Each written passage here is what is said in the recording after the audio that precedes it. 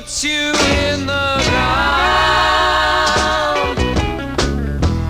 Ladies, baby pulls my hair, lets me know he's really glad. Baby's mother.